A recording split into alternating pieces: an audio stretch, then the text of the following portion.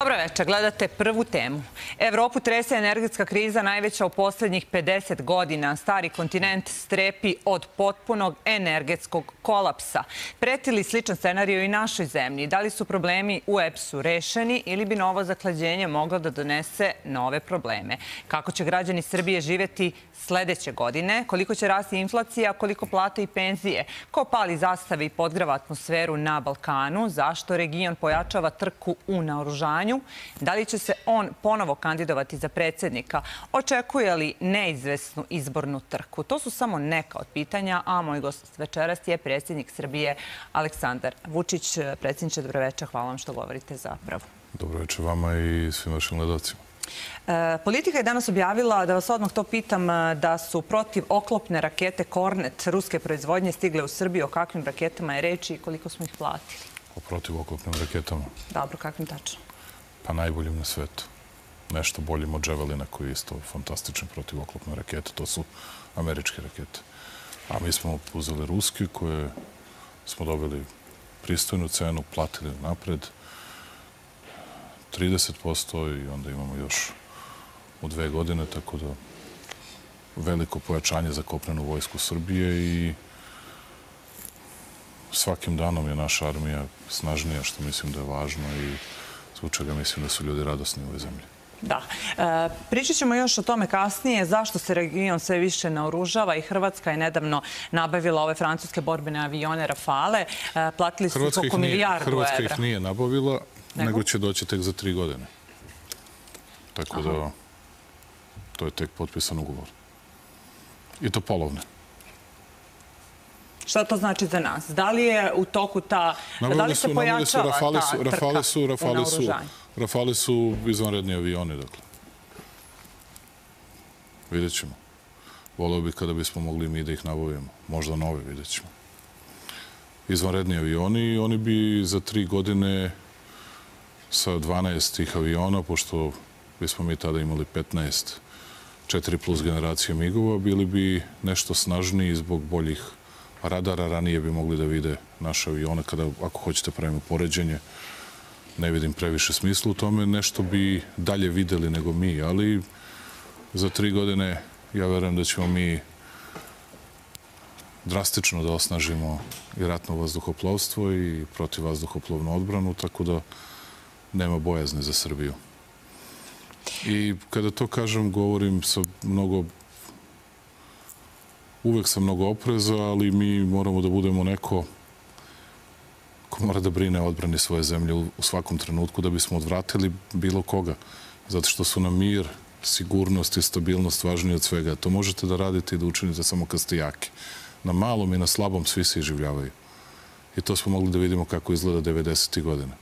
To smo mogli da vidimo i u političkom i u vojnom smislu i 2004. kada je smo imali 17. marti 2008. povodom proglašenja nezavisnosti Kosova i tako dalje. Dakle, kada ste snažni, kada ste u stanju da brinete o svoje zemlji, onda ste mnogo teži zaloga ili mnogo teža meta nego što neke zamišljaju. Tako da mi ćemo dodatno da snažimo naše ratno vazduhoplovstvo, tako da neće ostati na ovome i za tri godine imat ćemo značajno veću silu i u ratnom vazduhoplovstvu nego što imamo danas iako smo danas, rekao bih, 15 puta snažniji nego što smo bili pre samo 7-8 godina. Kada sam ja bio ministar odbrane. Prosto stvari su se promenile, Srbija napredovala i uradili smo mnogo važnih i dobrih stvari. Razgovarat ćemo kasnije naravno i o energetskoj krizi a, i o ekonomskim temama. Tu je samo važno da dodam to što smo dogovorili da svake godine damo po 250 miliona evra za našu namensku industriju. Dakle, to je i za municiju, ali i za rakete, od minobacačkih do malog Miloša do svega drugog. Da time dodatno snažimo i Užice, i Lučane, i Čačak, i Uziće, dakle kod Požege, da time snažimo Lučane, da snažimo sve naše fabrike namenske industrije Valjevo, dakle sve gde imamo fabrike namenske industrije, da time jačamo i našu pamet, da jačamo Vojno-tehnički institut, TOC, sve drugo, dakle da možemo da idemo u Momu Stanojlovića, da možemo da idemo u korak sa svetom i zato sam i radostan zbog današnje isporuke. Korneti su veoma važni u savremenim uslovima. Ako pogledate, vaši gledalci mogu da pogledaju recimo u Siriji kako su delovali i dejstvovali korneti. nepogrešiva. To, on, njegovo drugo ime je ubica tenkova. Dakle, to je lako upravljivo. Oni imaju takozvane rampe ili lansirne rampe za kornete. Jedan, jedan, dva lica i dva lica i nemate problema. Oklopnjacima se ne piše dobro. Tako da je to veoma snažno, veoma moćno oružje. E, kao što sam rekla, razgovarat ćemo kasnije o, ekonomskim temama i o energetici svakako. izbori su za nešto više od tri meseca, redovni predsjednički i beogradski, vanredni parlamentarni izbori. Da li ste vi doneli odluku, hoćete li se kandidovati ponovo za predsjednika? Pa ne znam čemu žurba.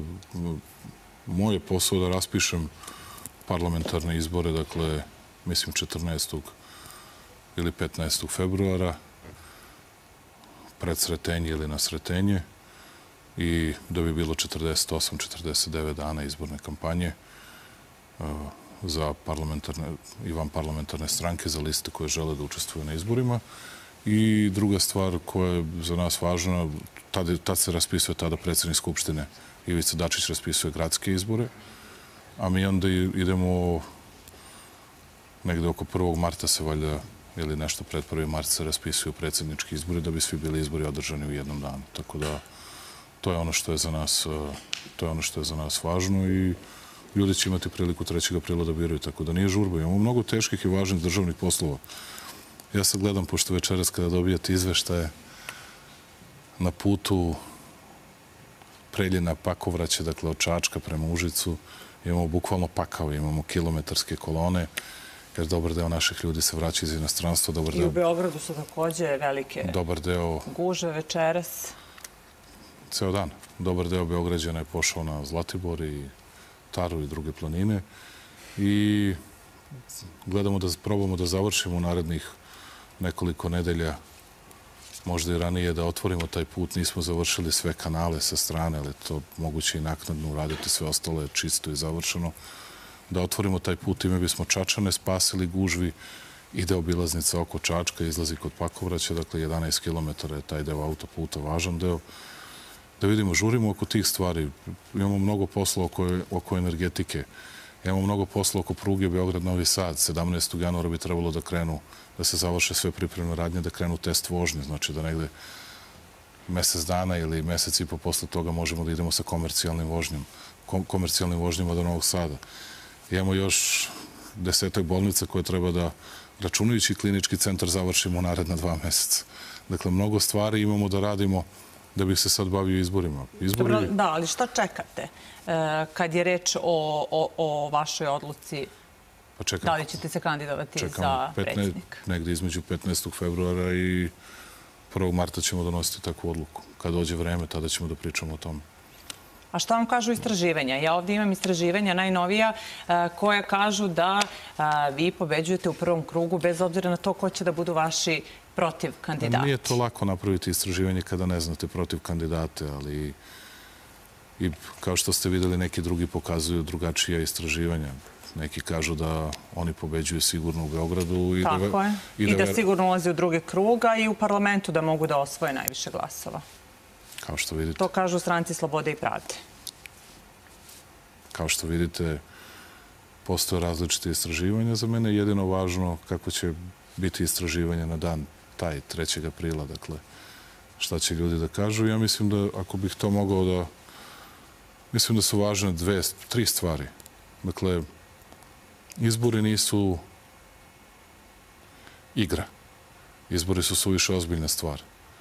I ovo govorim zato što smo uvijek imali a, još od 90. godina prime se a, ponekad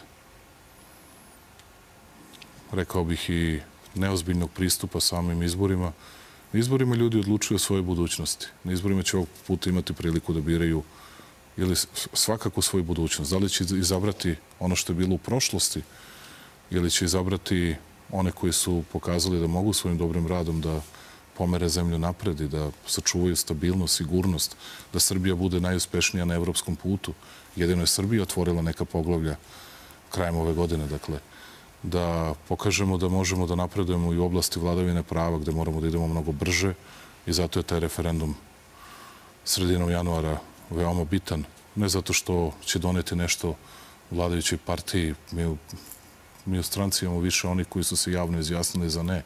A ja ću svakako pozvati ljude da izađu i da glasaju za da. Da, pričat ćemo o tome, ali je, verovatno. Ali je, dakle, Vam neće biti lako da motivišete ljude zato što su to izmene Ustava a, u oblasti pravosuđa. Neće ljudi, prvo postoji veliki broj ljudi koje to ne zanima, ali da to pojednostavimo o čemu se radi. I kako je rekla gospođa Boljević, za to se borili, za to se borili ljudi po 20-30 godina. Mi danas imate reakciju javnosti na svaku odluku našeg pravosuđa. Kad im se ne sviđa, onda je Vučić kriv. Iako nikad u životu nisam imao posla ni sa jednim od tih sudija, nemam pojma ko su ti ljudi, niti bilo šta slično. A kad im se dopada odluka, e onda hvala hrabrim sudijama što su protiv Vučića. A šta mi želimo da promenimo? Želimo da promenimo to da politika na bilo koji način, kao što je 2009. godine na kriminalan način određivala ko će biti sudija, ko neće. Da nam se to više nikad ne ponovi. I nemam nikakav problem što neće to biti u rukama državne vlasti. Tako što to više neće prolaziti kroz parlament. Tako je, tako je. Neće više političari moći da biraju sudije. Sudije će biti apsolutno nezavisni u svom radu, a da li vam se onda dopada ili ne dopada njihov rad, ja mislim da je mnogo bolje da oni stvarno budu nezavisni, a da li će nekada neko da pogreši ili neće, to je već drugo pitanje, druga stvar. Da li je to bolje nego ovo danas? Mnogo je bolje. I to je važno ne samo za evropske integracije i za naš napredak, to je važno suštinski da svoju svest promenimo o tome da država na bilo koji način može da utiče na pravosuđe. I to je suštinska stvar u svemu ovome. Vi imate recimo Vlado Đukanovića koji je istaknuti član naše stranke koji kaže ja ću glasam protiv baš zato što državna vlast neće da se pita. Ja sa tim ne mogu da se saglasim. Mi smo naravno jedna velika demokratska stranka u kojoj ljudi imaju pravo na različite stavove. I dobro, šta ako, a šta ako ne prođe taj referendum? Pa to bi bilo vrlo loše. Zamislite ljude koji bi na referendumu glasali za ne i rekli super, želimo da danas Vučić, a sutra neko drugi, treći, peti ili deseti ima vlast nad pravosudnim sistemom Srbije. To bi bilo vrlo, vrlo loša i poruka i odluka. Ali da vas vratim na, na izbore. A što ste navalili s izborima? Samo da završimo to ovde na početku, pa posle ćemo da pričamo o drugim stvarima. Da. Pominju se mnogi kandidati. Pominju se Vladeta Janković, Goran Marković, a Branimir Nastorović je pre nekoliko dana najavio da je moguće da će se i on kandidovati. Koga smatrate e, od ovih ljudi koje sam pročitala najozbiljnijim protivnikom i da li vas e, plaši najava e, njihovih kandidatura? To kažu iz opozicije. Čekate da vidite koga će oni da kandiduju da biste vi onda odlučili da li ćete se vi... Da bih onda da odustao ili bih se kandidovao. Da li ćete vi stati tom njihovom kandidatu na crtu? Čekajte. Ajde da analiziramo to što kažu. Znači, pošto oni kažu da čim ne budem na vlasti, čim ne budem predsednik, da odmah moram da idem ili u zatvor, ili će da me streljaju, ili će da mi progone porodice i da me protaraju iz Srbije, je li tako? Znači, ja dobrovoljno pristajem ukoliko ne odem na te izbore, da bez borbe budem ili proteran ili streljan. A zatvor, to je, može čovjek lepo da se odmori tamo milina jedna. Ali da budem proteran, streljan, da mi decu proteruju i streljaju. Gde je logika tu? Negde lažu. Ne govore istinu. A sa druge strane, te priče o strahu obično izgovaraju ljudi koji nemaju dovoljno odgovornosti, dovoljno ozbiljnosti.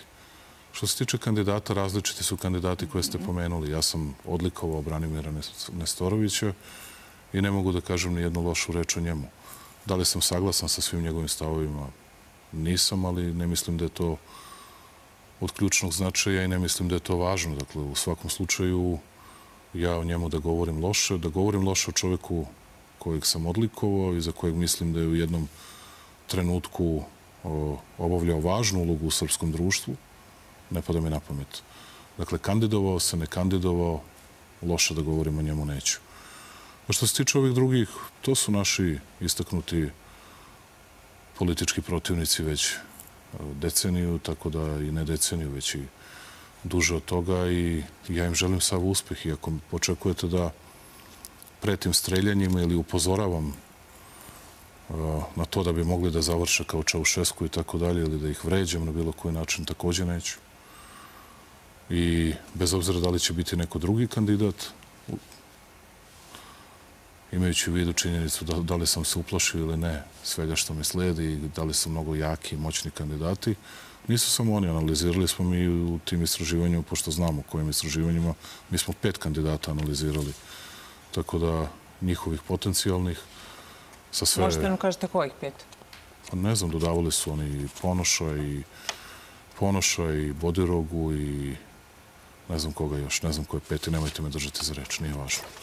Ali u svakom slučaju, bit će zanimljiva utakmica. Biće zanimljiva utakmica. Ja mislim da će ljudi izabrati budućnost, da ljudi neće da glasaju za prošlost i da ljudi hoće da glasaju za rezultate, da hoće da glasaju za težak i marljiv rad, a ne za prazne priče i za svakodnevne psovke i uvrede. Tako da ja mislim da je to od ključnog značaja. Sad, neću da vas podsjećam i 2004. kada sam statističkom greškom u broju glasova izgubio od Bogdanovića, ja sam već u pola deset čestitao predstavniku, da. predstavniku demokratske stranke na pobedi i nisam pravio nikakve probleme, niti bilo šta, zašto to tako i džentlmeni i časni ljudi rade, ali svi oni mogu da se kandiduju ja ću svakako uh, gledati da mi izađemo sa kandidatima i za parlament, i za Beograd, i za sve ostale opštine, i za predsednika Srbije sa ljudima koji mogu da dobiju poverenje naroda. Ali potom, potom. E, kad ste pomenuli uh, te priče, uh, jedan određeni broj političara i javnih ličnosti već godinama govore da se vlast u Srbiji neće menjati na izborima nego uh, na ulici. Izgleda znaju koliko ih ljudi vole. Izgleda i oni imaju i stvarna istraživanja sem onih izmišljenih. I e, poslednja u nizu takvih e, izjava došla od Gorana Markovića, ali neću, e, mnogo se govorilo u javnosti o tome, bilo je reakcija i sa jedne i sa druge strane, ali hoću ovo da vas pitam. Ja, On kaže ja, ovako... Ja, ja na ovo moram da reagujem. Ali samo, evo, samo da vam pročitam, samo da pročitam e, precizno gledalcima. On kaže da je malo verovatno da će doći do mirnog pada režima. Ukoliko vlast zavede otvoreni teror, onda će to izazvati samo organizovanje ljudi i podzemni otpor. A onda kaže ovako, ja se ipak nadam da Aleksandar Vučić ima pred očima Čaušeskov kraj i da će se povući bez krvi. Izvolite sad. Dakle, vi ste rekli bilo je reakcije ovakvih i onakvih. I sad želim to ljudima da objasnim o čemu se ovde radi. Pošto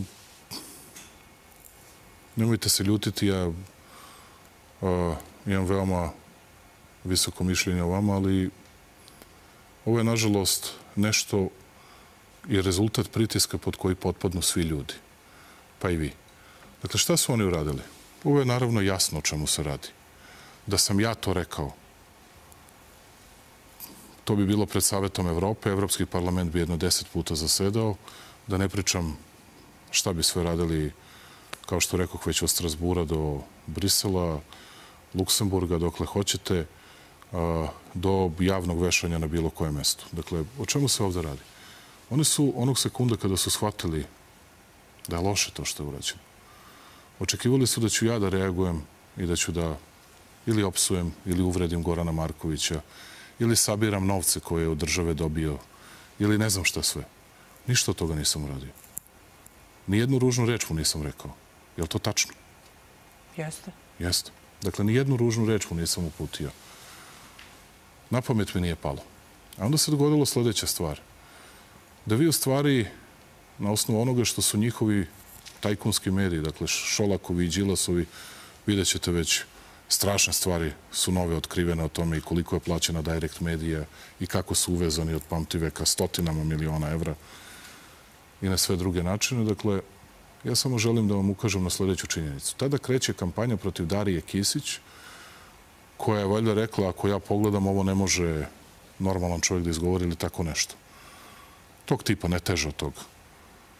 Sad pogledajte... Da, anamnezu njegove bolesti, ona je, tako je to ona je, ona je, žena, ona je žena koja je reagovala na najstrašniju, nedvosmislenu pretnju. Jer zamislite da sam ja rekao, ja se nadam da će oni imati pred sobom u vidu nešto da ne bi prošli kao neko ko je streljan. Možete da mislite na šta bi to ličilo. Dakle, tog sekunda tajkunski mediji kreću uopšte napad na nju, I pojedini političari je nazovu umesto Kisić Tepavčević. Morate to da izgovorite. Pa nisam ja, to su oni izgovorili. Pa znam da nisu. Niste. Ali da ne, ipak da ne, ne izgovaramo znači, to. Znači, pogledajte, mi smo došli dotle da vi meni, verovatno s pravom, ne dozvoljavate da izgovorim kakvim uvredama su oni zasuli Dariju Kisić, ali je bilo strašno to što je ona samo odgovorila, pomislila da smije da odgovori nekome ko je na najstrašniji način pretio nekome ko je kriv, valjda zato što nije krao pare, valjda zato što ne možete da mu pronađete ni jedan račun i hoću građanima kažem ponosan sam na tu činjenicu, jer ja nemam ni jedan račun u inostranstvu.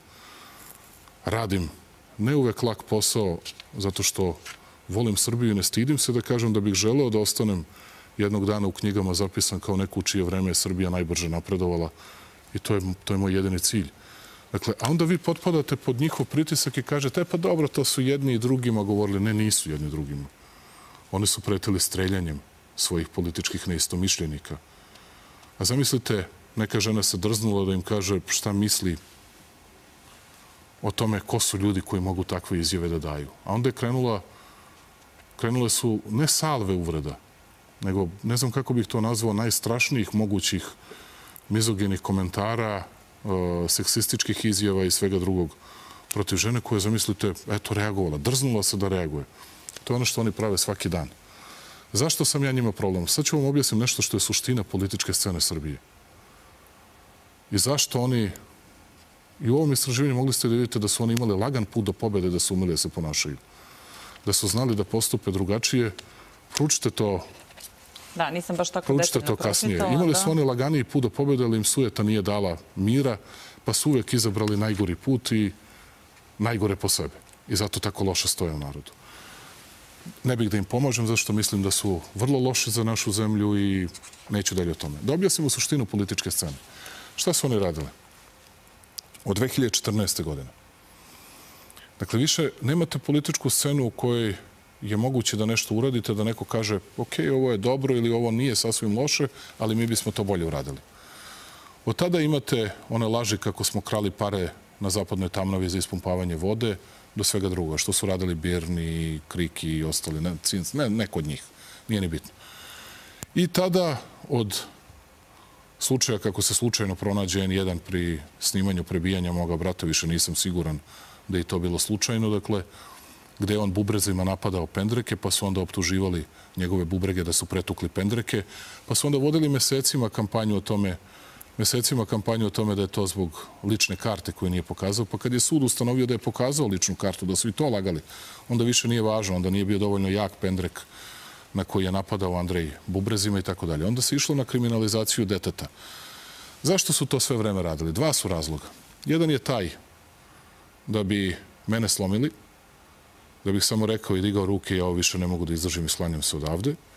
I druga stvar je da bi svakom drugom rekli, budeš li uz Vučića, proći ćeš na ovakav način. Dakle, sad je morala da prođe na ovakav način Darija Kisić-Tepavčević, ej, mala, kako kažu, sad ćeš da prođeš kroz toplog zeca, da ti ne padne na pamet više ikada da si bilo uz Vučića.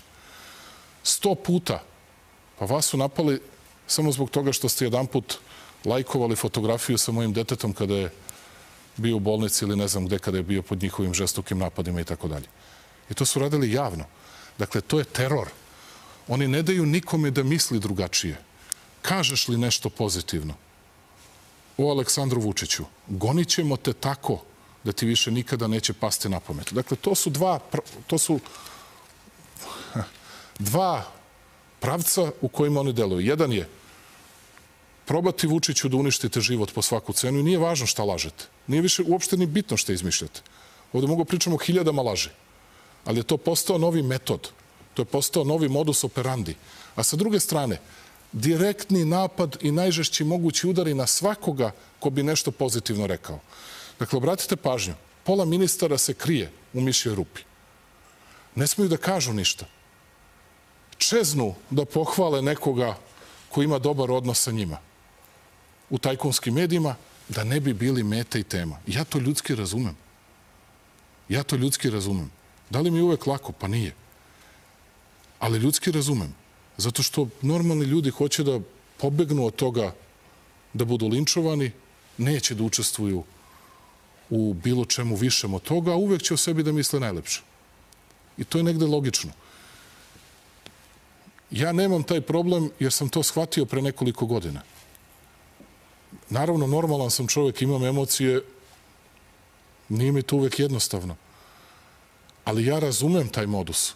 Ja razumem kako to funkcioniše. Njihov je problem u tome što se ja na to ne obazirem, već nastavljam da radim. Možete vi da objasnite da sam arogantan, možete da objasnite da sam ružan, možete da objasnite sve to, da kažete i da sam glup. Možete vi koji niste škole završili ni deseti deo kao ja, vi ponavljači iz osnovnih i srednjih škola. Možete mi govorite da ste vi elita, da sam ja glup koji sam s najvišim ocenama završio i škole i fakulteta. I koji govori mi više jezika od vas. Vi ste pametni, a glup. Sve to možete. Ali ono što ne možete da izbrišete, to su izgrađene bolnice, izgrađeni klinički centri, izgrađeni putevi i autoputevi. Gde god da krenete imate autoput. Idete u Grčku, idete autoputem koji je izgrađen, koji je Bismarck, o kojem je Bismarck maštao. Idete u Bugarsku i Tursku, idete autoputem koji smo mi izgradili.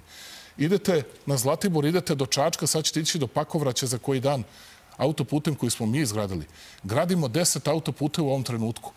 Imaćemo prugu Beograd-Novi Sad za pola sata. Kad smo se vozili vozom? Kad ste se poslednji put vozili vozom? U Srbiji davno. Ne sećam se. Pitam da ste ikad. Jesam, jesam, jesam. Ali, Pre koliko? Ali 30 godina? Davno. Ne sećam se, ali davno. Dakle, ja se ne sećam. Znam da sam nekada u bivšoj Jugoslaviji na utakmice smo išli vozom. Sećam se za Zagreb smo išli, imali su dva jutarnja voza za Minhen i Pariz od 20 do 7 i 5 do 7 i pola 12 one noćne. Toga se sećam. A posle toga nikad više. Mi ne znamo šta su vozovi. A sad ćemo da znamo. To, to je ono što ne možete da izbrišete. To je ono Ne možete da izbrišete razliku u platama kad ste vi bili na vlasti i danas. Ne možete da izbrišete razliku u penzijama kad ste vi bili na vlasti i danas. Ne možete da izbrišete ono što ljudi vide. Ne možete da kažete ljudima da je bio lepši Beograd na vodi kad je bio, kad je bio onako močvara, bara, stecište narkomana i ništa više u odnosu na ovo što je danas, rekao bih, najveće gradilište na jugoistoku Evropi, jedan predivan novi grad. Ne možete ljudima da objasnite da je to lošije. E, hoću da vas vratim, e, pričat ćemo o tome kasnije, ali hoću sada da vas vratim na ovo moje pitanje e, koje sam krenula da vam postavljam, a tiče se e, toga da se vlast neće menjati na izborima nego na ulici. Te vlast će se, teze, vlast će se menjati na izborima. Te, da tako kažem, najave da je malo verovatno, verovatno da će doći do mirnog pada režima. Da li vas takve priče, da li vas takve izjave zabrinjavaju, plaše, kako god hoćete? Ne. Zato što se to nikada neće dogoditi na takav način. I to vam obično govore oni ljudi koji od fizičkog vaspitanja imaju arečkinje, barečkinje na velikom odmoru i ništa više. I obično najveće kukavice i oni koji nikada ništa nisu razumeli. Ali to svakako govori veoma neodgovorni ljudi, veoma neozbiljni ljudi. Kao što je veoma neodgovorno zaustavljati autoput, kao što je veoma neodgovorno Danas mi se čini da u svetu postoji jedan novi pokret i da odmah razjasnimo. Veoma je važno razgovarati sa narodom. Ja sam večeras doneo da vam pokažem šta smo sve spremili za ekologiju šta je to što moramo da uradimo da bismo Dobro, očistili... Dobro, ali kad ste govorili o ovim e, rezultatima vidljivim, evo e, e, sutrašnja naslovna strana danasa, kako je efekat euforično najavljenih državnih poslova sa Ujedinjenim, kakav je, kakav je efekat euforično najavljenih državnih poslova sa Ujedinjenim Arabskim Emiratima od bajke o čipovima do skupih zajmova. To je naslov u tom dnevnom listu i drugi naslov jeste Tatjana Mandić, rediteljka, kaže marš svi nemačke, kineske i sve druge kompanije kompanije. Ako mi sad dozvolite. Izvolite. Vidite, trudio sam se od 2014. godine pa i ranije, 2013. da dovedemo što je moguće više investitora. I Emirati su uložili i u Beograd na vodi i napravili najlepši grad u ovom delu Evrope, grad bukvalno u ovom delu Evrope. Investirali u to. Fabriku čipova nismo uspeli da napravimo iz mnogo razloga. Ali smo napravili MTU. MTU gde ćemo mi da gradimo i da budemo glavni u izgradnji motora za Airbusove avione. Jeste li mogli to da zamislite? Jeste mogli da zamislite Brose, CTF, najbolje elektromotore, Continental R&D centar ili Nidek japanski. Ne uspete uvek u svemu, ali ne zaboravite, sam sam učestvovao u otvaranju 260 fabrika u Srbiji, a oni su ih ugasili preko 500. Katance stavili na fabrike koje su radile decenijama. Ja ni na jednu ni na jednu. A samo 260 smo otvorili. Spasili smo Borski rudnik u minusu od milijardu i 200 miliona dolara je bio. I pri tome ne zaboravite, pri tome ne zaboravite da su oni predlagali da je gospodin Đinđić još predlagao da se tamo sadi kikiriki i da se pravi nameštaj od bambusa, a ne rudnik da ostane. Da smo imali slučaj Železare Smederevske koja nam je bačena gde smo krvarali 12 miliona evra stalno svakog meseca na kraju smo napravili našeg najvećeg izvoznika jer smo uspeli da zamolimo naše kineske prijatelje da tu dođu. Dakle, nemojte da vas podsjećam da su ti ljudi govorili da je Beograd na vodi fantazmagorija, izmišljene Vučićeve priče, sada svi žele da žive u Beogradu na vodi. Da mogu i ja bih. Ali prosto svako bi, čini mi se. Samo što deo ljudi svakako ne može, jedan mali deo ljudi može, ali svi možemo da šetamo po najlepšoj promenadi u Evropi. Dakle, šta je važno još? Imali ste vi u Engleskoj, to je s početka 19. veka, ako se ne varam, između 1810. i 1820. godine, ako me sećanje ne vara. To je nedaleko od Nottinghama, kasnije se širilo na Lancashire, Yorkshire, takozvani ludistički pokret po stvarnom ili izmišljenom nedu ludu, dakle, gde su oni, to, su, to je bilo vreme prve industrijske revolucije, gde su ljudi smatrali da su mašine krive za to što gube posao, jer dobar deo onoga što su ljudi radili, posebno u tekstilnoj industriji, preuzimale su mašine. I onda su uništavali mašine. I plašim se da smo mi sad i da se vratim na ono o čemu sam hteo da govorim. Dakle, to kad kažete marš napolje Nemci, marš napolje Kinezi, ljudi, jel neko razmišlja od čega mi da živimo? To što imate lepu platu, to je u nekoj, nekom drugom sektoru, to je zato što postoje oni drugi koji to mogu da plate, zato što nam proizvodnja postoji. Zato što imamo fabrike. Fabrike su nosilac razvoja, industrija je nosilac razvoja. Nemojte da vas neko laže. Industrija je ta koja nosi sve, fabrike su te koje nose sve. Da zatvorimo fabrike. Nema problema, ljudi, izaberite takvih neodgovornih ljudima koliko hoćete, kažete ljudima da vozimo samo bicikle i da ne postoji plata za ljude, da otaramo, da otpustimo 75.000 ljudi koji radi u nemačkim kompanijama, računajte još 75.000 koji su im kooperanti, da otpustimo u kineskim kompanijama 20.000 ljudi koji radi u ovom trenutku i još 20.000 koji su kooperanti, pa izračunajte, to je 200.000 ljudi. Ja u tome da učestvujem neću.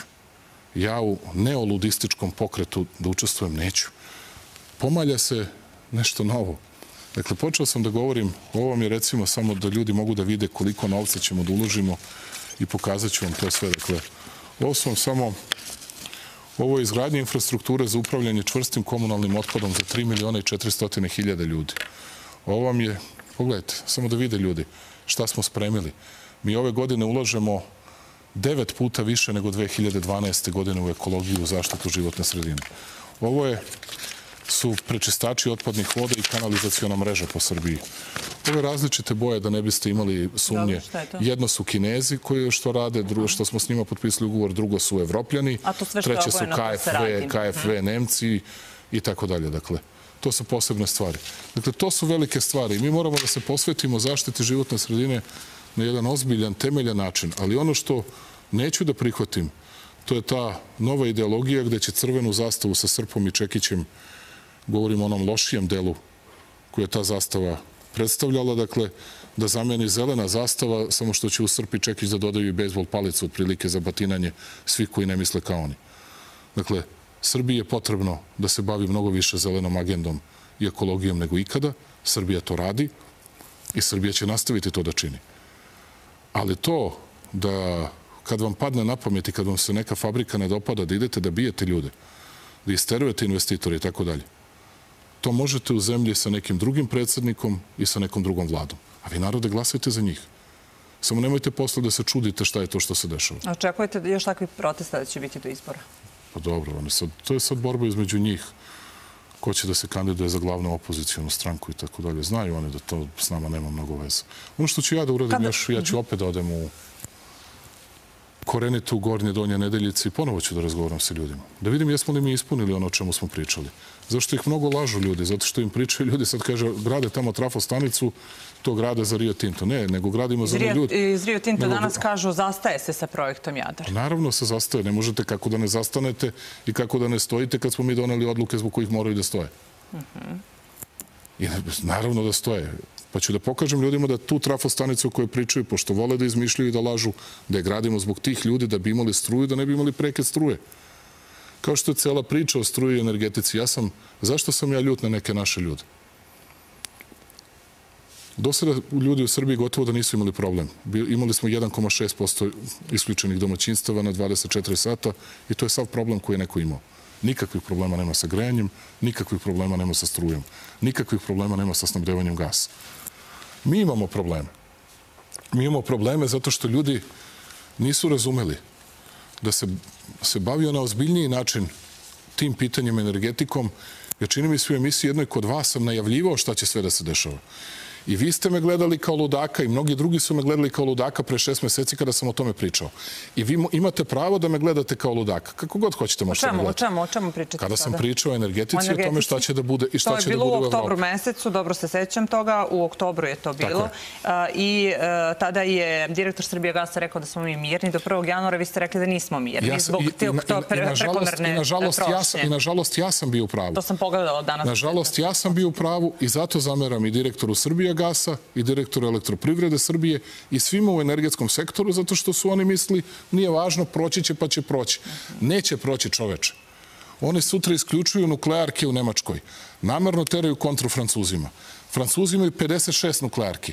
Evropska unija proglašava nuklearnu energiju čistom energijom. Oni isključuju zbog svoje politike i obećanja koje su davali zeleni, isključuju nuklearke, isključuju sve na ugalj. A šta vi očekujete?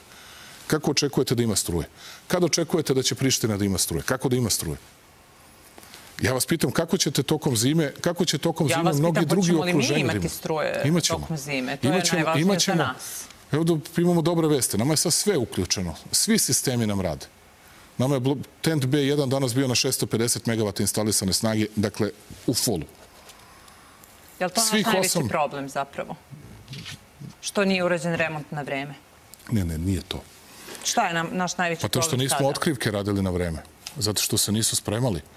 Zato što mi sad kad kopamo ugalj iz zapadne tamnove, on je ozbiljno kvaliteta, on je dobro kvaliteta, ali ako kopate na istočnoj strani, onda imate mnogo problema sa kvalitetom uglja. To je kvalitet uglja energetske vrednosti oko 6000 kJ, koji je mnogo lošiji od onog u Kostolcu, čak i od onog koji Resavica isporučuje za Moravu i tako dalje. Ali morali ste da se pripremite. Morali ste sve da znate. Da mi nemamo dobru finansijsku situaciju koja može da podnese i da izdrži sve, Ali to će biti problem sa mnogim zemljama, samo me saslušajte. Hoću, dakle, da mi smo danas proizveli oko 108.000, 109.000 megavat sati struje. Potrošnja danas je oko 120.000 megavat sati. Dakle, mi smo pokrili 90% sobstvenom proizvodnjom. Hidrologija nam ne ide na ruku, ali to je za očekivati u decembru, januaru i početkom februara. Kasnije će biti bolja hidrologija. Dakle, 90% smo pokrili sobstvenom proizvodnjom. Koliko plaćamo to što, što moramo da uvozimo? Pa Koliko plaćamo, plaćali smo uvek i plaćat ćemo i sada. Nije problem tome što ćemo sada plaćati. Je li to tačno da će nas to koštati stotine miliona evra, možda i milijardu evra? To je jedan ekonomski analitičar kaže za danas. Ne, ja sam, rekao, ja sam rekao da naše spreme milijardu, a koštaće mnogo, mnogo manje. Dakle, na ovakvu cenu struje Francuska Ako poredite, recimo, mi smo imali problema ta tri dana, tada smo uvozili mnogo i tada smo trošili velike pare. I danas trošimo velike pare, ali to su mnogo manje novci. Ali... Može li to da podnese naš budžet? To je pitanje. Podnosi. Ne znam kako će nečiji drugi budžeti da podnesu. Mm -hmm. Kako će podnese Francuska koja dnevno potroši 150 miliona evra. Mi kada dođemo na to da potrošimo na ovakve nenormalne cene električne energije 2-3 miliona evra, nikakav problem. Dnevno. Govorimo o dnevno. Dnevno, da. dnevno, dnevno. Mm -hmm.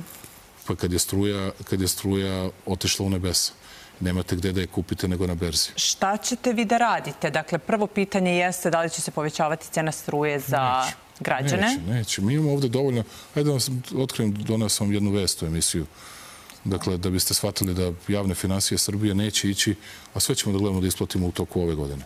Neće nam preći javni dug 57,5% u odnosu na BDP, dakle. Neće nam preći 57,5%. Bolje od naših najboljih očekivanja.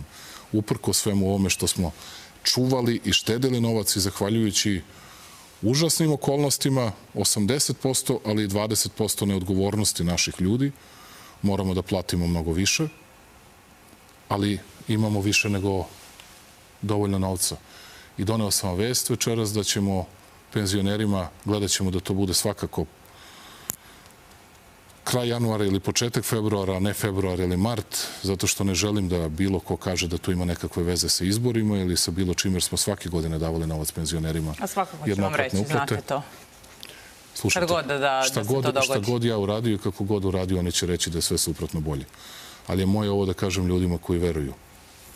Ljudima koji znaju da smo svake godine davali šta god i kako god i koliko god da smo mogli penzionerima. Želim da kažem da ćemo pre toga, verujem, krajem januara, najkasnije početkom februara, i to smo dogovorili Ana Siniša i ja, isplatiti lončar, isplatiti zdravstvenim radnicima, isplatiti zdravstvenim radnicima 10.000 dinara jednokratne podrške, što mislim da je posebno značajno za medicinske sestre i verujem da će se tome obradovati. Dakle, to je za 120.000 ljudi dodatno po 10.000 mm -hmm. dinara mislim da je lep novogodišnji poklon. Za penzionere ste nešto krenuli? Za penzionere 20.000 dinara dobijaju, uh -huh. 20.000 dinara dobijaju penzioneri i ako mogu da budem iskren, one su zaista podneli koliko su nam plate brzo rasle. Ja sam večeras doneo bezbroj primjera da vidite. Najbrže u vojsci i u zdravstvu su nam rasle plate.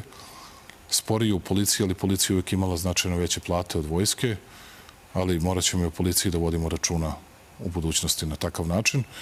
E, međutim, ono gde je značajan rast, ali nije dovoljan rast, jesu penzije. I zato penzionerima na svaki način, kad god i kako god možemo da pomognemo, to je velika stvar i ja sam zahvalan tim ljudima koji su razumeli šta je država, koji znaju šta je država i koji su uvek bili u najtežim reformama, bili u svoju državu i razumeli probleme i danas nemamo finansijske probleme. Ponosan sam na to što te finansijske probleme nemamo. Vi ako vidite, Prištinska vlada izdvojila 20 miliona evra, izdvojit će još 50, još 100, a ne zaboravite da oni pokrivaju prostor koji je četiri puta manji od de facto prostora koji u energetskom smislu mi pokrivamo. Dakle, tako da reč je naravno uvek o ogromnom novcu i to su cene električne energije, cene gasa, to nije, to nije normalno, to ne može niko da izdrži. To samo bukvalno najsnažnije ekonomije mogu da izdrže. Mogu Nemci to da izdrže. Jeste, u oktobru kad smo pričali, ta cena na berzi je bila dostigla istorijski maksimum od a, preko 1000 dolara za 1000 kubnih metara gasa, sad, ne možete, sad je 2000. Da- sad ne možete da kupite, pošto znate imaju i transportni nakupci, prekupci, ne možete kupiti ispod 2000 gasa. A mi imamo onih osnovnih 6 miliona za 270. E, e, tih 6 miliona ostaje i od 1. januara. E, imaćemo januara, više od 6 miliona. Imaćemo više od 6 miliona. Mm -hmm, to je veoma važno zbog ove prekomerne troše. Naravno. Dobro. Mi imaćemo više od 6 miliona. Ja ću sutra ponovo da razgovaram sa predsednikom Putinom. Sutra? Tražio sam ja opet. Telefonom? Znate kako sam dosadan kostenica. Telefonom razgovarate mm -hmm. sa njim. Mm -hmm. Da tražite šta? Da tražim još količine. Količine veće od januara? Između ostalog, da. -hmm. Dobro, onda ćemo... Plus svi drugi poslovi da pričamo i o svim drugim stvarima, naravno. Važno. Kraje godine analiziramo Dobro, ali, prošli, da, ali za građane je najvažnije da li će oni imati struje, da li će imati gasa što se građana tiče, i da li će Što se građana tiče, da ne brinu oni. Imaće i struje, imaće i gas. Imaju dobru i ozbiljnu državu. Mnogo bolju i mnogo ozbiljniju nego što sami o svojoj državi to misle. Može li se desiti ovo što se desilo pre dve nedelje ponovno? A vi meni pitate kao da se desilo, kao da je bio blackout, otprilike kao da niko nije imao struje u Srbiji. Vi niste osetili... Ne znam zašto ste to jeste, pročitali jeste, zbog pitanja. Nisam, nisam. Nisam pročitao, nego sam vas slušao. Dakle, da mi kažete, da mi kažete samo, o, jeste vi osetili nešto u centru Beograda ili u Beogradu, jeste li osetili nešto? Pa ne, nisam, ali nije valjda tu tome poenta. A ne, poenta, poenta je u svim građanima. Ja vas pitam, ma ja vas pitam, jeste vi osetili Pa ja nešto? nisam, ali znam da ljudi je. Osetilo 1,6% ljudi. Dobro. Za te ljude dužni smo ne samo izvinjenje, već da dobiju za svakoga koji imao 24 sata isključenu električnu energiju, dužni smo da dobije pola računa da plati. Pola vrednosti onoga što je potrošio. Ja mislim da je to neka vrsta zahvalnosti naše i ogromno izvinjenje za to što se tako nešto desilo. A vi morate da razumete da smo mi pre dve godine imali veće isključenje. Da smo mi strahovitom brzinom ceo sistem popravili. Imali smo 163.000, sad je bilo 126.000 priključaka u pitanju. I da je to trajalo veoma kratko. Mi u ovom trenutku imamo oko 400 ljudi, ali to se radi. To su trenutno iskoči negde neka sklopka, nešto se desi i onda odmah ljudi iz održavanja izađu na teren i to popravljaju Ali vi sve vreme imate i za Svetog Nikolu i za srećno badnje veče uh, onima koji slave po julijanskom, mm -hmm. po, izvinjavam se, gregorijanskom kalendaru. kalendaru. Dakle, i srećan Božić. Sutra, dakle, za Božić koji ti ljudi slave, za Novu godinu, za pravoslavni Božić, za sve druge praznike, nikada neće nedostajati ni struje, ni gasa, niti toplote u stanovima, niti bilo gde, bilo šta. Ali ovo vam, poštovani gledalci, govori još jedan put o nečemu koliko smo mi, kao i neke druge teme, koliko smo visoko podigli lestvicu. Danas nismo u stanju da izdržimo, već je za nas vanredno i priča se mesec dana posle toga kada 1,6 konzumenata nema struju, 1,6% konzumenata nema struju 24 sata. U Americi, Kanadi i mnogo razvijenim zemljama su neuporedivo veći procenti i u neuporedivo dužem trajanju. To niko ne spori, o tome su govorili stručnjaci za dakle, energetiku. Samo hoću, samo hoću da kažem da. da smo da je to dobro i da od sebe tražimo sve više. Jer ja sam se sekirao. Kako da se ne sekiram kad znam da ljudi u prilikama... Ili ste rekli da je veliki problem da ljudi, toga prili, dana, da. da ljudi u prilikama i kušićima nemaju struju. Zašto ja ne mislim da su oni lošiji od bilo koga od nas ko živi u centru Beograda. Dakle. Tako da, kako da vam kažem, prosto samo što se mi nismo suočili sa bilo kakvom katastrofom i sa bilo kakvim velikim problemima za građane. Mi se suočavamo sa finansijskim pitanjima koja, kao što vidite, uspešno rešavamo i suočavamo se sa nepripremljenošću i nedovoljnom odgovornošću onih koji su morali da budu neuporedivo odgovorniji. I nema tu velike filozofije, zato će da snose odgovornost sva ta lica i gotovo. Ko su oni? Pa čuli ste već za Grčića. Grčića. Je, je li on i dalje direktor EPS-a? Šta je značila ona vaša izjava da još nekoliko dana i računajte da je on podne ostavku? Značila istinu. Dakle, on više neće biti direktor EPS-a? Naravno da neće.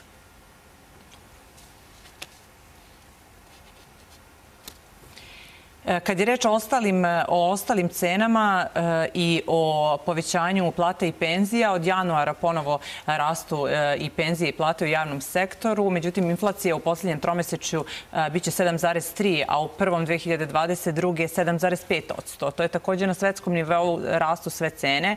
Ono što jeste vlada uradila je zamrzla je cene osnovnih životnih namirnica, pet namirnica. Da li će se još nešto preduzimati? Što niste rekli kolika je inflacija na nivou godine? Na godišnjem nivou? Mm -hmm. Ne znam iskreno. Koliko? Reći vam ja, bazna inflacija je 3%, bit će između 3 i 4%. Mm -hmm. A evo, poštovani građani Srbije, kao da sam znao da ćete ovo da me pitate. Maksimalna će biti 4,1, ali neće biti toliko. Pogledajte, ovo mi je inflacija ljudi između 2000, od 2008. do 2012. Pogledajte, išli smo i sa inflacijom od 11%.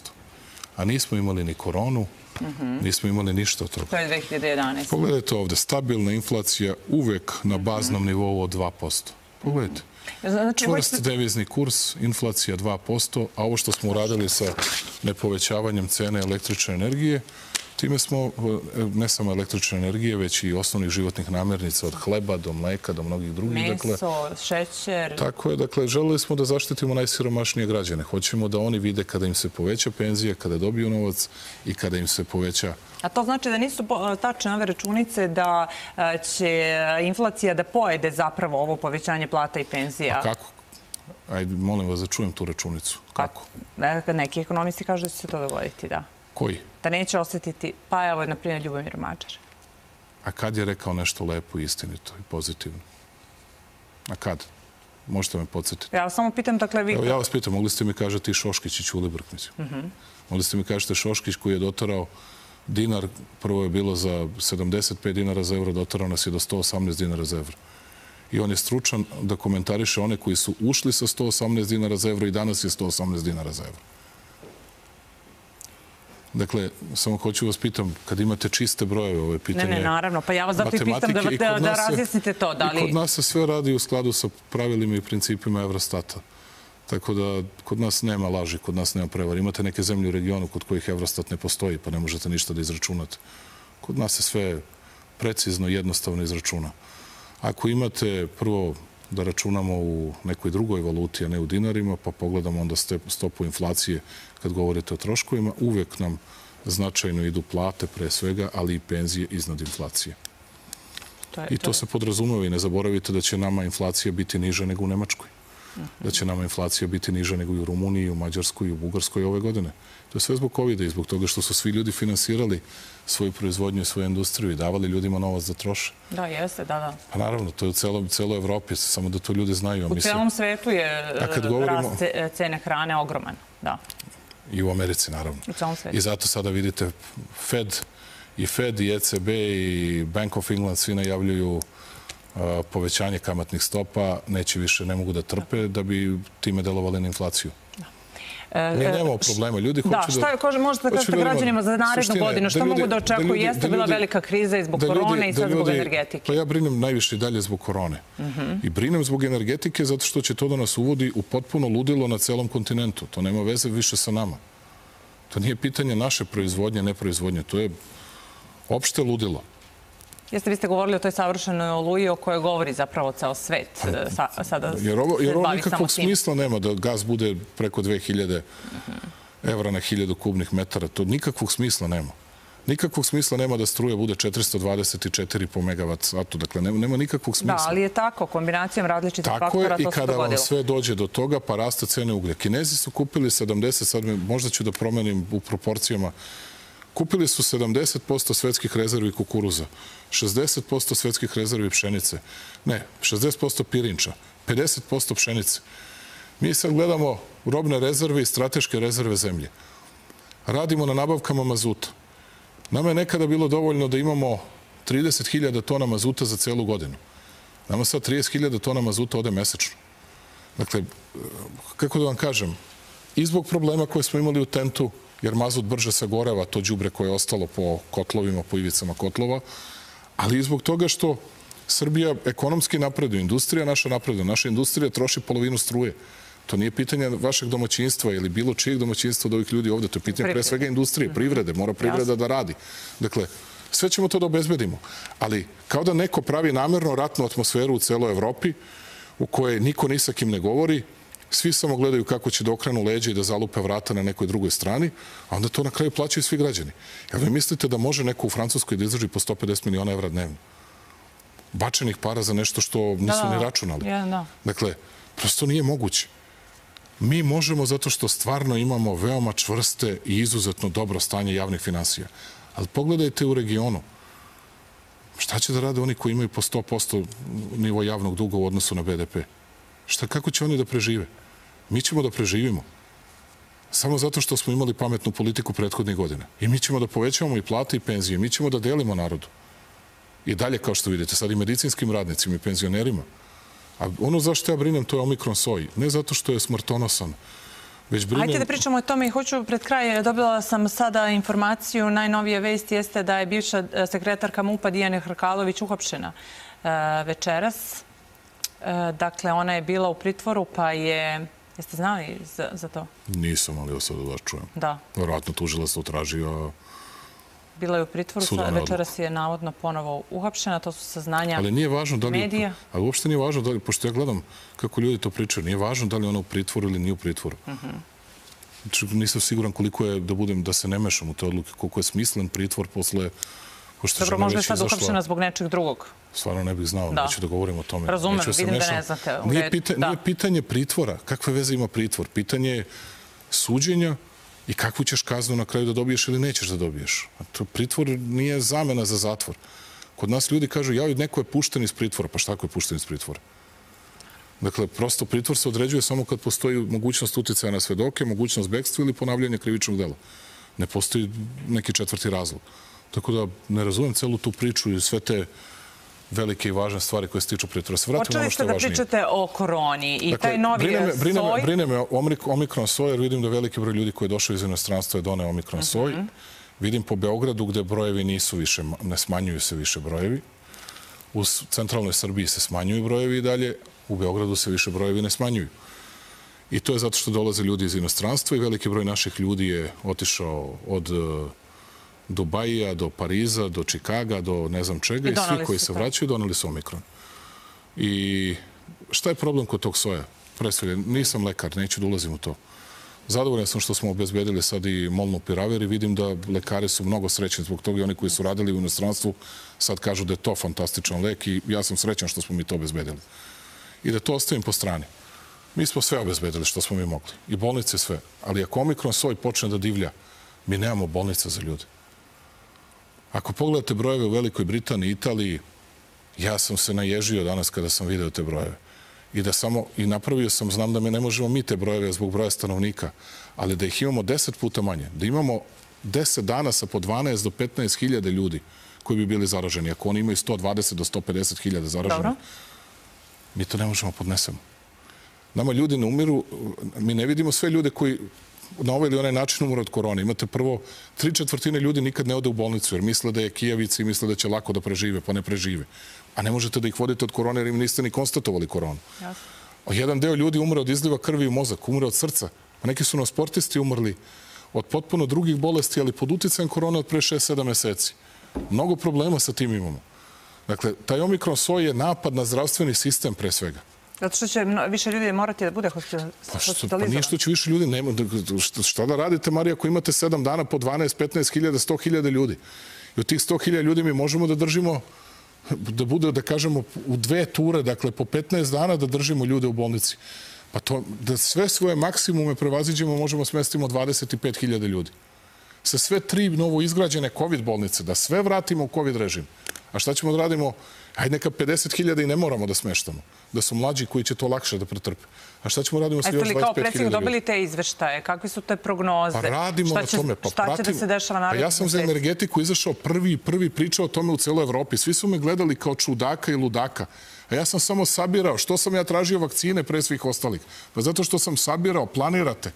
Sedite i planirate. Čitate, sedite i planirate. Šta vam sad kažu analize kad je reč o COVID-u? I pa ne znam šta da uradimo. Ja nemam rešenje. Ovo za energetiku mi imamo rešenje. Nemoj da vam pričam kako se sve snalazimo i šta sve radimo. Ali ljudi neće da osete. Imaju dobru državu i srećemo imamo dovoljno novca. Tačka. To je važno, dobro. Ovo što se omikrona tiče, strah me. Strah me veliki. Ali ne, nemamo ga sad u toj meri, osim u, nije to čak veliki broj ni u Beogradu danas, ali hoću da kažem samo, ne znam šta će biti za mesec, mesec i po dana. Ne danas ili dva meseca. Šta ćemo raditi s bolnicama? Kažu, lakšije. Super. Preživet ćemo, ali šta ćemo da radimo sa, da šta ćemo da radimo ljudi, sa da. diabetičarima, sa srčanim bolesnicima, sa svim drugim bolesnicima? Oni moraju da odu u bolnicu. Gde ćemo da ih smestimo? A kad pogledate, mi smeštamo mnogo više nego što smeštaju Nemci koji su najrazvijenije zemlje Evrope. Procentualno brojevima koje imamo i procentualno broju stanovnika. Dakle, najviše ulažemo i sve to radimo za, za džabe. Kad vam kaže neko, pa ja sam to platio kroz, pa nisi. Prosečno je plaćeno 500 evra godišnje, to je manje od jednog dana u bolnici. A nemojte da vam kažem da jedan remdesivir košta 600, do, 600 dolara, da jedan, jedna ona kutija tableta ovog molnupiravira košta 590 ili 560, nije ni važno, pojma nemam, ali košta đavo i po. I sve to košta. I sve to država nabavila. I Regenerol, i Regeneron, i Bamlini Vimab, koji sada sve više daju i tako dalje. Sve to košta. I sve smo obezbedili najbolje. Sve smo najbolje obezbedili što u svetu postoji. Ali ne možete, ne možemo da napravimo još deset bolnica, šta da radimo s njima sutra. Ja znam, jedino razmišljam sada da možda krenemo da izgradimo još jednu najveću bolnicu do sad. Ne, ne, stvarno ne znam. Sve ćemo da konsultujemo, pričat ćemo i sa drugim ljudima. Sad me ovo, kad sam video šta su Kinezi uradili, sad ja gledam kako da mi nabavimo. Imamo dovoljno kukuruza, dovoljno pšenice. Gledam šta da nabavljamo sve drugo i za strateške rezerve, i za robne rezerve. Kao vrhovni komandant naredio, naredio, razgovarao sam i rekao sam ljudima da obezbede, one to vode kao naređenje, da bi ispunili. Dakle, rekao sam i zamolio sam da se rezerve i za našu vojsku povećaju. Imamo 100% popunjeno za hranu, ali je to popunjeno za 15 dana. Rekao sam povećajte na dva meseca. Sve rezerve moramo da obezbedimo. Moramo da imamo rezerve u lekovima, moramo da imamo rezerve u mašinama, moramo da imamo rezerve u svemu. Moramo da brinemo za budućnost, jer vidite da se neko ludilo dešava. Neko veliko ludilo se dešava. I ne mora niko da mi objašnjava zato što pratim svaki detalj, svaku izjavu i o Ukrajini i svaku izjavu o svemu drugom na svakom mestu. Tako da pratimo sve, planiramo, gledamo. Slušajte, kad vi vidite da se sve živo pokupuje, da vidite da nigde više nemate ugalj da kupite. Svi kupuju ugalj u celom svetu. Mm -hmm. Iz Afrike sve ode za Kinu. Vetra iz Amerike, nema. Iz vetra malo. Iz Amerike svi brodovi prenose LNG za Evropu da bi se koliko toliko, da bi Amerika rekla da suzbijemo ruski utice za to što nećete da otvorite Severni tok 2 i tako dalje. Evo vam kažem. A svi ostali plaćaju cenu političkog ludila u koju smo svi ušli. Da uopšte ne pričamo o krivcima, ne krivcima, potpuno je nevažno. Samo smo se našli u vrtlugu. Po prvi put da imamo sigurnost i energetsku bezbednost o kojoj sam pričao i za koju sam govorio da je mnogo važnija od svega drugog, a za koju me nisu slušali jer su misli ide priča gluposti i na kraju se videlo da, na, da nažalost nisam pričao gluposti i to ćemo sve da izdržimo. Dakle, ja očekujem jednu nelaku godinu, nelaku zimu, nelaku zimu, jer čekajte šta će sve da bude kada dođu temperature na minus 10. Dakle, ne zaboravite, sada je temperatura plus 10. Čekajte kad dođe na minus 10. Da. da vidimo šta će da bude u celoj Evropi i u celom regionu. Tako da, mnogo toga neće biti lako, ali borba. Živete, znači borite se, tako da borit ćemo se i kao što vidite, to su mi sve mnogo važnija pitanja od izbora. Dok se bude donosila odluka o izborima ima još 50 dana, tako da mnogo toga mi do tada moramo da prođemo i mnogo važnih stvari. Mnogo važnih stvari da uradimo, mnogo važnih stvari da obezbedimo. Kao što smo, pogledajte, rezerve, neto rezerve zlata su nam duplo veće nego u odnosu, ne, ne rezerve zlata, rezerve para. Devizne rezerve zemlje su nam duplo veće nego 2012. Tada je bilo 6,6, sad je 13,9, ako se ne varamo. 16,5 su nam bruto rezerve. U parama, 37 tona zlata imamo. Sve smo uvećali, sve smo uduplali. Da, ali kad govorite o toj bezbednosti, e, koliko vas brine situacija u regionu i ovo što se sad trenutno dešava e, u Bosni i Hercegovini, Republika Srpska, Nemačka, brine. Velika Britanija, Amerika najavljuju sankcije Dodiku, vi ste rekli da ćete se usprotiviti sankcijama protiv bilo koga Naravno u da ćemo se Republici Srpskoj. Podrazumeva se da ćemo se usprotiviti. Neretko ljudi imaju veoma jednostran pristup problemima u Bosni i Hercegovini. Ja ne mislim da sankcije rešavaju bilo šta. I da budem sasvim otvoren, da te sankcije uvode protiv bilo koga u Bosni i Hercegovini, mi te sankcije ne bismo podržali. A naravno da ih nećemo podržati kad ih uvode Republici Srpskoj ili nekom u Republici Srpskoj. Ne vidim da su sankcije rešenje za bilo šta, ne vidim da će to do bilo od vas da Zapad, to se često takođe a, pitaju, da li Zapad očekuje od vas da vi a, utičete na Milorada Dodika, ajte da iskoristim tu blagu reč i da a, on ne, ne donosi odluke koje donosi. Da vam kažem, ja imam odnos poštovanja sa predsednikom Dodikom kao i sa svakim drugim. Ja ne naređujem nikome. Ja, uprkos uvreženom mišljenju u srpskoj javnosti, ne naređujem nikome ni u vladi Srbije. Ja ih uvek molim, a oni najviše mrze kad ih molim. Da budem iskren, zato što znaju da je tad već prekardašilo nešto. Ali je, ali da na nekoga utičem, prvo taj čovjek živi tamo, ja živim ovde. On sasvim sigurno zna kakve su prilike i zna ko je šta kome obećavao, ko je šta kome govorio i ko je šta potpisivao. Ja to znam mnogo slabije. I ne pada mi na pamet da takav način razgovaram sa njim i sa bilo kim. Da li Republika Srpska može bez Srbije? Ne može. Da budem sasvim otvoren. U gotovo svakom smislu. Ali da li Srbija ima pravo da ucenjuje Republiku Srpsku na bilo koji način? Ja mislim da ne. Mislim da je to jedini fair odnos.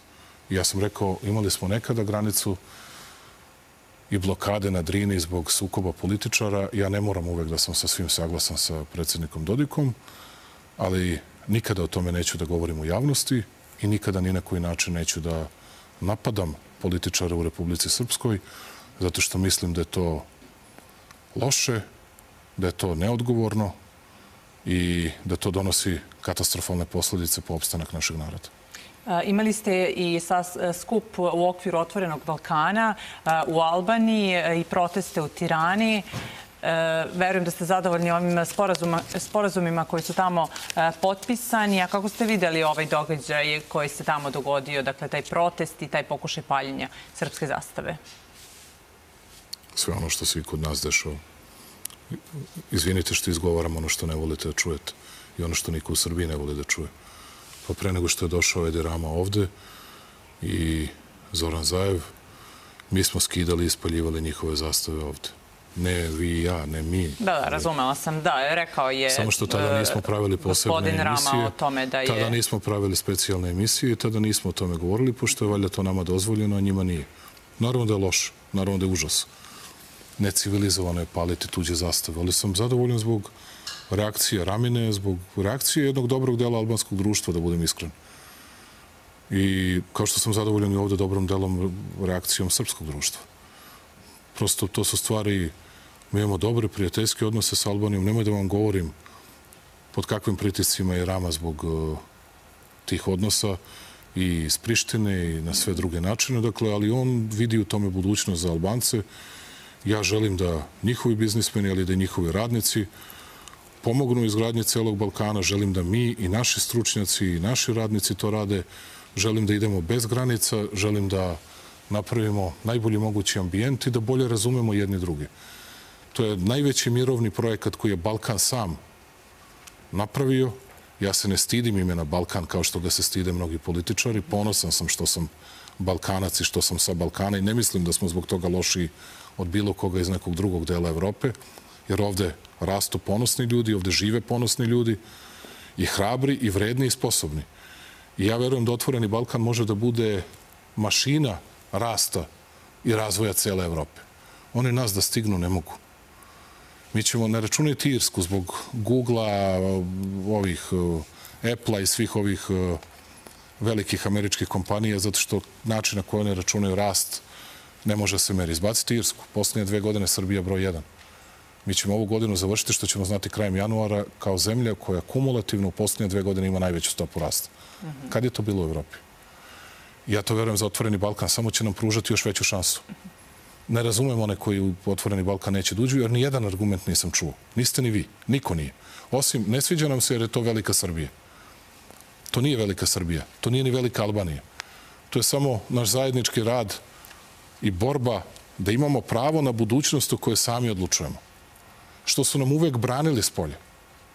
Ne zaboravite, mnogo je srpskih političara stradalo zbog želje da Balkanci sami odlučuju o svojoj budućnosti.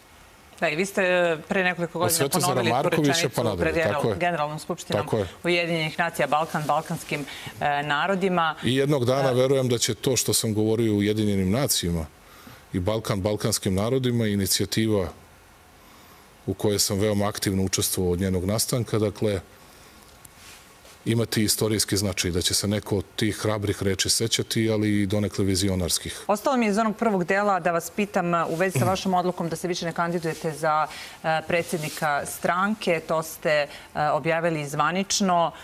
Da li je to definitivna da, vaša odluka? Da, to vas da, prvo pitam. Da. Uh -huh. Nema tu, znaju to ljudi u stranci i bit će, ja mislim da postoje četvoro ili petoro kandidata za naslednika u stranci.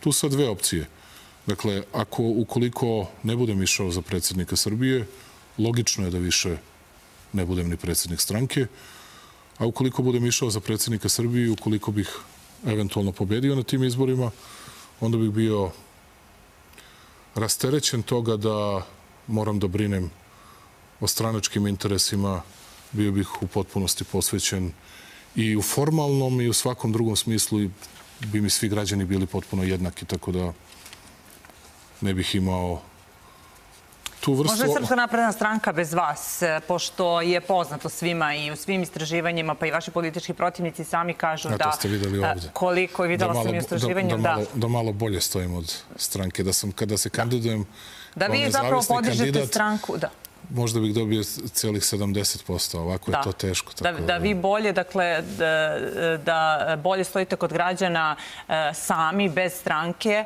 a, to je jasno, a koliko vas pušta stranka? Ja nemam prezir prema političkim strankama, što je postalo fancy i moderno ponašanje. Političke stranke su srž i suština političkog delovanja. One su demokratska struktura jednog društva. I zato uvek verujem mnogo više kakve god da su političke stranke onima koji su u političkim strankama nego onima koji su u ad hoc pokretima jer oni nikakvu odgovornost ne mogu da imaju i ne moraju da imaju.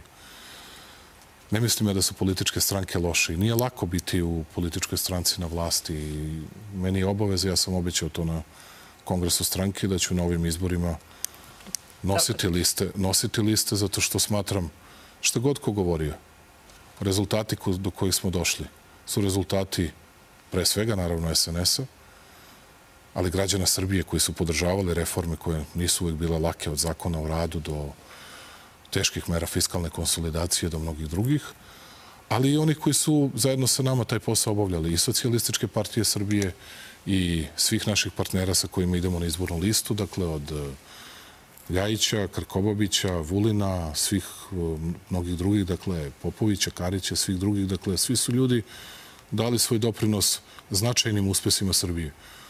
Tako da je moja obaveza da pokušam da obezbedimo još četiri godine stabilnosti, rekao bih, Srbiji ovakvog ubrzanog napretka i ja ću to da pokušam. I mi ćemo da se borimo. A naravno da ćemo da čestitamo protivnicima ako nas pobede. I mi nikakav problem po tom pitanju nećemo da pravimo. Ali ćemo da se borimo. Zato što verujem da oni koji su doneli velike i dobre rezultate Srbiji zaslužuju poverenje i da se pokazalo da i kroz najteže krize za koje nismo ni krivi ni dužni, od poplava, dakle, do uh, korone, do energetike, da, su, da smo uvek prolazili na najbolji mogući način. Kako je to pomalo i cinično reći za koronu, da vam je jedan čovek umro, a ne Razumem. hiljade da, i hiljade ljudi i tako dalje. Dakle, ali da li smo nabavili, da li smo imali dovoljno bolnica, izgradili ih u najkraćem roku, dovoljno lekova, dovoljno vakcina, da ih imamo prvi, sve smo uradili. Sve kako treba. Kao i za energetsku situaciju, mi ćemo je mnogo manje osetiti nego svi drugi. Da li sam zadovoljan? Naravno da nisam zadovoljan. Jer samo oni ljudi koji nisu zadovoljni, oni traže uvek više, podižu lestvicu, traže bolje rezultate i tako dalje. Tako da imaćemo ne laku godinu, ali godinu u kojoj će opet bolje da se živi, u kojoj će da rastu plate i penzije značajno i u kojoj verujemo da možemo da postignemo i velike, velike infrastrukturne rezultate, dalje razvoj našeg uh, industrije softvera, IKT, uh, sektora kompletnog. Dakle, verujem da će ljudi imati dobru godinu. Ovo mi je verovatno od velikih nastupa i poslednje, tako da ljudima da iskoristim još jedan put onima koji slave Božić po Gregorijanskom kalendaru da čestitam i novu godinu svima. I hvala vama što sam mogao večeras da govorim. Hvala vama što ste bili ovde e, večeras. E, hvala još jednom. Hvala, srećan rad. E, hvala i vama što ste bili sa nama. Da, ne vidimo se sledećeg petka jer 31. je decembar, slavite Novu godinu, slavimo svi zajedno Novu godinu, ali vidimo se zato u nedelju ujutru. Doviđenja, laku noć.